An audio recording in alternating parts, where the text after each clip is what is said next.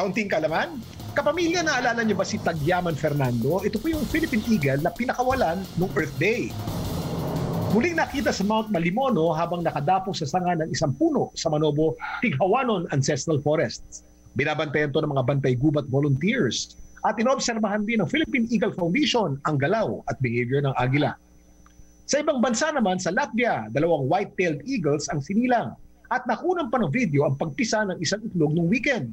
Sikat sa internet ang nanay at tatay ng mga agila na sina Milda at Rainis dahil sa online streaming ng Latvian Fund for Nature. Nagkaroon naman ng bagong kumpanyon si Milda, ang agilang si Chips na naghahanap ng pagkain para sa kanila. Isa pang itlog ang hiniintay na mapisa at inobserbahan din ng scientist kung tatagal at magiging tapat si Chips kay Milda. Ito po si Kuya Kim nagsasabing mag-aral na maigi upang buhay ay bumuhay.